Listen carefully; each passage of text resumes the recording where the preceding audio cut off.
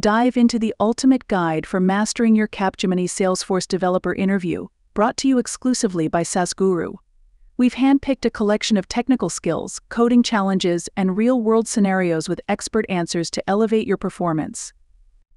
Get ready to excel as we delve into technical skills and coding questions and answers. Explain how Apex is used in Salesforce development and its key features. Apex is a strongly typed, object oriented programming language used in Salesforce for writing business logic. It allows developers to execute flow and transaction control statements on the Salesforce server, in conjunction with calls to the API. Key features include its similarity to Java, built in support for DML operations, and its ability to work with Salesforce's robust data model. Apex also supports testing and debugging, which is essential for building scalable and maintainable applications in the Salesforce ecosystem. Describe the process of creating a custom object in Salesforce and its importance. Creating a custom object in Salesforce involves defining the object and its fields, setting up page layouts, and configuring related lists. This process is integral for tailoring Salesforce to meet specific business requirements. Custom objects can store unique information related to other records. They are fundamental in extending Salesforce's capabilities beyond its standard offerings, allowing businesses to capture and organize data specific to their operations. How do you handle error handling in Apex? Error handling in Apex is crucial for maintaining robust applications. It is typically managed through try catch blocks. In the try block, you place code that might throw an exception, and in the catch block, you handle the exception. Apex provides a system exception class that includes several subclasses to handle different types of exceptions, allowing developers to write more precise and meaningful error handling code. Can you explain what a SOQL query is and give an example? SOQL, or Salesforce Object Query Language, is used to search your organization's Salesforce data for specific information. It's similar to SQL but is designed specifically for querying Salesforce data. For example, to retrieve the name and email of all active contacts, you would use select name, email from contact where is active equals true. This showcases an understanding of SOQL syntax and its application in accessing Salesforce data efficiently discuss how Visualforce is used in Salesforce development and its key benefits. Visualforce is a framework that allows developers to build custom user interfaces for mobile and web apps within Salesforce. It uses a tag based markup language, similar to HTML, and can include powerful features like controllers and extensions for incorporating business logic. The key benefits of Visualforce include its flexibility in UI design, seamless integration with Salesforce data, and support for dynamic, interactive user interfaces. It's instrumental in creating tailored user experiences in Salesforce applications. Write an Apex trigger to update a custom field on all related opportunities when an account status changes to preferred. This trigger creates a follow up task for each new contact added to any campaign, setting the task date a week from the current date. Describe how to use SOQL to fetch the last three closed won opportunities for a specific account. This SOQL query retrieves the ID, name, and close date of the last three opportunities where the stage is closed won for a given account, sorted by the most recent close date. How can you use Apex to dynamically create a new task every time a contact is added to a campaign? This trigger creates a follow up task for each new contact added to any campaign, setting the task date a week from the current date. How would you use a batch Apex class to process large datasets in Salesforce? Provide an example. This batch Apex class template can be used to process records from a large dataset, with custom logic in the execute method.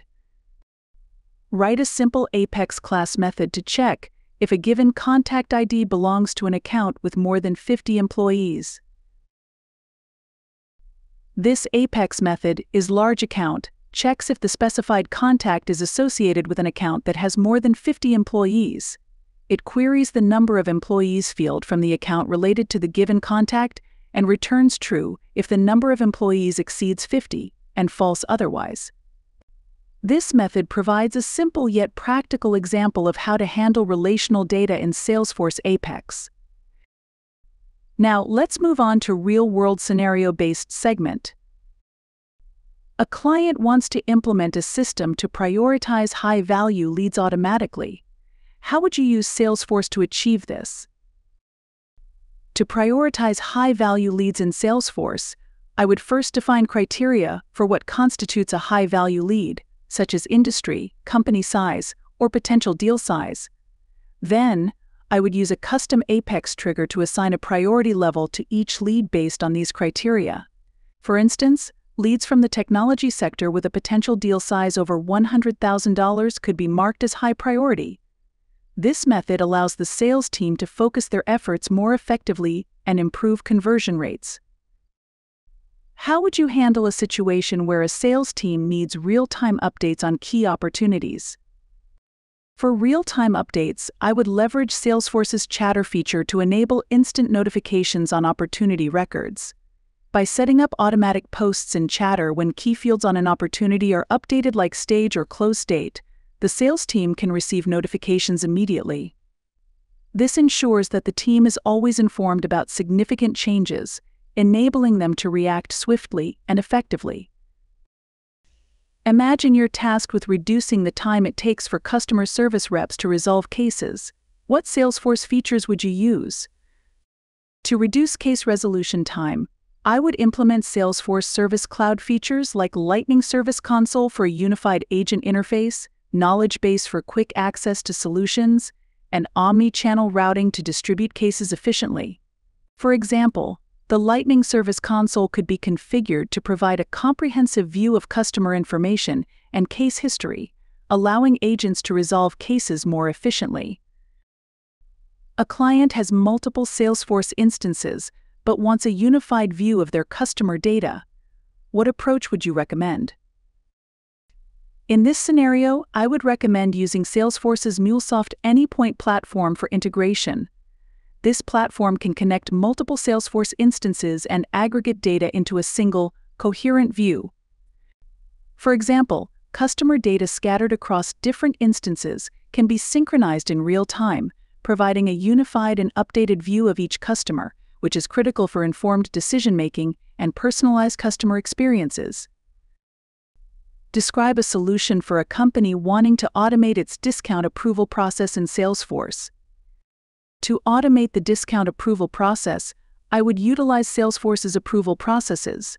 This tool allows for creating multi step approval processes with specific criteria. For instance, if a sales rep requests a discount above 15%, the request could automatically be routed to their manager for approval. The process can include email notifications for pending approvals, ensuring timely responses and maintaining an efficient workflow. How would you approach a situation where a client needs a custom dashboard in Salesforce to track their sales performance in different regions? For creating a custom dashboard to track sales performance, I would utilize Salesforce's reporting and dashboard features. I'd start by defining the key performance indicators, KPIs relevant to the client's sales, such as total sales, average deal size, and conversion rates by region. Using Salesforce's Report Builder, I'd create reports for these KPIs and then compile them into a comprehensive dashboard. I would also ensure that the dashboard is interactive and dynamic, allowing the client to filter and view data by specific regions, timeframes, or other criteria. A client complains about the low adoption rate of Salesforce among their sales team. What strategies would you suggest to increase user engagement? To address low Salesforce adoption, I would recommend a combination of user training, customization to meet the sales team's specific needs, and integration with tools they already use. For instance, simplifying the user interface to align with their daily tasks, integrating Salesforce with their email system for easier access to client communications, and conducting regular training sessions to demonstrate the platform's value in streamlining their sales processes. Additionally, I would suggest implementing gamification elements, like leaderboards or rewards for regular Salesforce usage, to encourage user engagement. If a client needs to streamline their lead generation process within Salesforce, what solutions would you propose? To streamline lead generation, I would propose using Salesforce's web to lead functionality to capture leads directly from their website. Additionally, implementing Salesforce flows to assign and follow up on leads based on predefined criteria like industry, location, or lead source would ensure efficient lead management. I'd also recommend integrating Salesforce with marketing automation tools to nurture leads with personalized email campaigns, further enhancing the lead generation process. How would you assist a client who wants to integrate Salesforce with an external accounting system for better financial data management? For integrating Salesforce with an external accounting system, I would use Salesforce APIs and middleware solutions like MuleSoft. This integration would allow seamless data flow between Salesforce and the accounting system, ensuring data consistency and accuracy. For example, when a sales deal is closed in Salesforce, the relevant financial information can be automatically updated in the accounting system. This integration would provide a holistic view of the customer lifecycle, from sales to financial management, enhancing decision making and operational efficiency. Describe how you would develop a solution in Salesforce for a client who wants to automate customer feedback collection after each service interaction. To automate customer feedback collection, I would leverage Salesforce's email service and process automation tools. After each service interaction, an automated email with a feedback form could be triggered to the customer. This process could be set up using Salesforce flows, the feedback collected can then be stored in Salesforce, linked to the corresponding service record. This automated system would not only ensure consistent feedback collection, but also provide valuable insights into customer satisfaction and service quality for continuous improvement.